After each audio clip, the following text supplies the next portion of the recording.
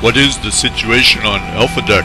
The avatars are revolting because they don't follow the script. I know they're not the most attractive things in the world, but why can't they follow the script? Well, it's in their contract that they can do whatever they want, whenever they want. Why can't those avatars listen? I'll just make them. Avatars can too be scripted. No, they can't. Can so.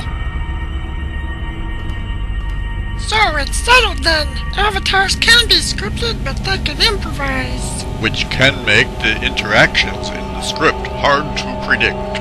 Okay, thanks for clearing that up. And what is the situation on Beta Deck?